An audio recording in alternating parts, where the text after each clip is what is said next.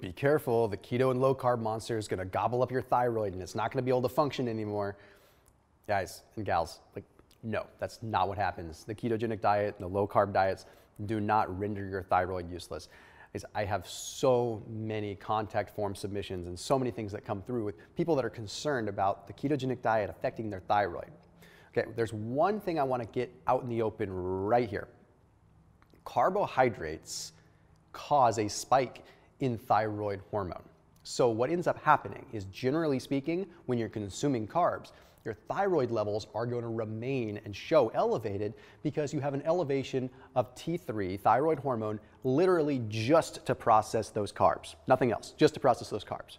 So yeah, your T3 levels might show a little bit lower on a keto or low carb diet. But let's go ahead and let's dive into this and do a deep dive. Hey, you are tuned into the internet's leading performance fat loss, and nutrition channel. New videos coming out every single Tuesday, Friday, and Sunday at 7 a.m. Pacific time. And heck, why not put videos out the rest of the week as well? So we usually do. Also, turn on that little bell button so you can turn on notifications whenever I go live and never ever miss a beat. All right, let's go ahead and let's get into the details here.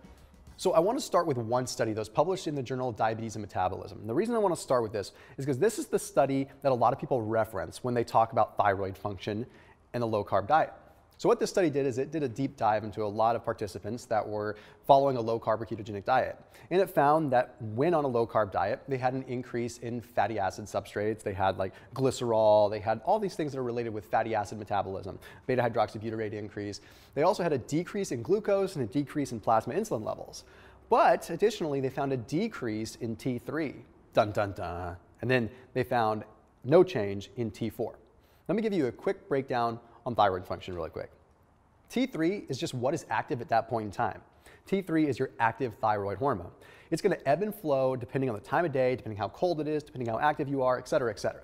T4, thyroxine, is the precursor to triiodothyronine, T3. So if T4 is unchanged, then you're usually not having any issue. If your T4 levels were suppressed, then that would mean that the precursor to T3 would have a problem. And then you might have a thyroid problem. Okay, let me explain in a little bit more detail why this isn't concerning, and I'll reference another study. You see, there's a study that was published in Metabolism, clinical and experimental, and it took a look at healthy test subjects that were consuming a normal carbohydrate-rich diet. And what they did is they had them go ahead and start a keto diet. So they were eating approximately 48% carbohydrates. Okay, these are 12 healthy men. And then they had them go onto a keto diet. Well, what they found when they went on the keto diet is they had a decrease in fat mass of 3.4 kilograms. That's a pretty good amount. It's about 10 pounds, close to 10 pounds. Okay, then they had an increase in lean body mass, 1.1 kilogram increase in lean body mass. Okay, then they had a decrease in glucose, decrease in insulin, slight, slight elevation in T4, so thyroxine, and no change in T3. Why is this important to know? So what this shows us is that on the keto diet, you're able to lose weight and build muscle, something that would be extremely difficult if you had poor thyroid function. So it goes to show that it's not a matter of the thyroid being rendered useless by the ketogenic diet. Sometimes the thyroid hormone is simply suppressed because of calorie restriction. When we reduce our calories, our thyroid function slows down. You see, our thyroid is like a barometer for everything that's going on. If we are less active, thyroid hormone generally comes down a little bit. If we are not eating as much, thyroid hormone comes down a little bit. It's a simple barometer for what we're experiencing and what we're exposed to at that point in time. So the fact is, whether you lose weight on a keto diet or you lose weight on another diet, your thyroid function is probably going to diminish. And sometimes it's simply masqueraded by the fact that you have carbs in the system. So you have sort of this ancillary amount of T3 that's just actively doing its thing just to process carbs, but has zero effect on your metabolism or weight loss whatsoever. In fact, the journal Thyroid published a study that took a look at 47 participants that lost weight over the course of a year. They lost about 5 to 10% of their overall body weight. And they found at the end of that year, they had a big decrease in T3. They went from 112 nanograms per deciliter down to 101 nanograms per deciliter. That's pretty significant.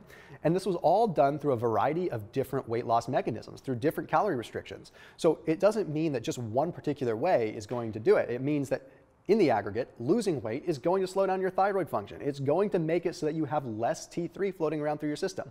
But as long as you can take care of yourself and consume some things that actually support the conversion of T4 to T3, you're going to be in good shape. So that's what it comes down to. So let me give you some tips and tricks to help that conversion process out because that's what we need to be paying attention to is that conversion from T4 into T3.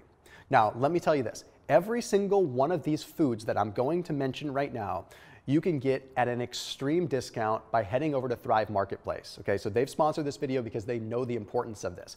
So you can head on down to the link that's down in the description and you can get the things I'm gonna talk about super, super cheap, like way cheaper than the grocery store, and you're gonna get them delivered to your door. That's the cool thing about Thrive, is they make it totally possible to get what you want without ever having to leave your house and have things dropped right on your doorstep.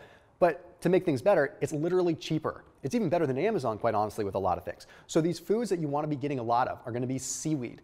Seaweed and kelp are very, very high in iodine. Okay, iodine supports that conversion process. It is super necessary. Okay, T4 cannot convert to T3 without iodine. Our thyroid gland has actual iodine receptors on it to go out and grab the iodine. We don't get a lot of iodine unless you're eating low quality iodized salt, which you shouldn't be doing anyway. That's why they put it in that salt in the first place because they saw that people were deficient in iodine. Just eat seaweed, little seaweed snacks. They're awesome. And you can get them right at Thrive and you can get them cheap. Okay? The next thing you want to be consuming is going to be Brazil nuts. You don't have to consume a lot of these. Honestly, just two or three of them does the trick. They're a super high quality nut and they're super high in selenium, which is exactly what we need to allow this iodine process to occur. You see, the selenium is a precursor to the iodine process that T4 needs to convert to T3. So very, very important, and the quickest and easiest and keto-friendly way to get selenium is going to be through Brazil nuts.